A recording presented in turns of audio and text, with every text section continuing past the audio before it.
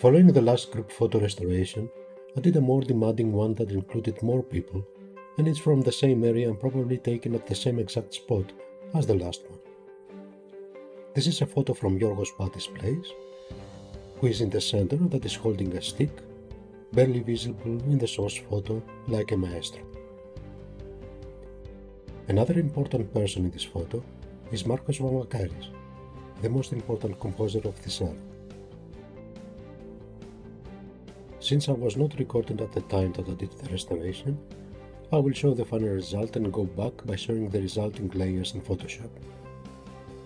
This was done in phases that included upscaling and making subsets to regenerate details and clean up the noisy parts of the subsets. The first batch of the subsets included bigger portions of the photo that usually included four or more faces.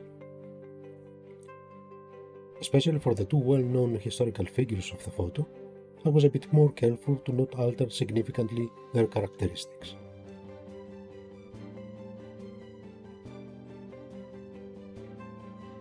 After the first batch was set and done, I went over to upscale the photo once more and then made smaller portions of the photo as subsets that usually were one or two faces per subset.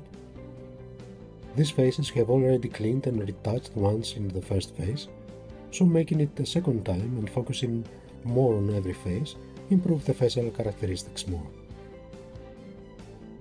Again for the two well-known faces, I used Reactor to deepfake them in order to be able to use these images as a reference to better restore their characteristics.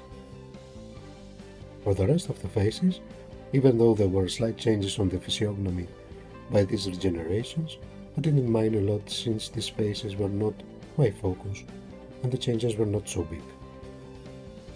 So the final result may not be 100% accurate representation of the photo, but it did keep the aesthetic in my opinion and made the main subject of the photo pop out a bit more.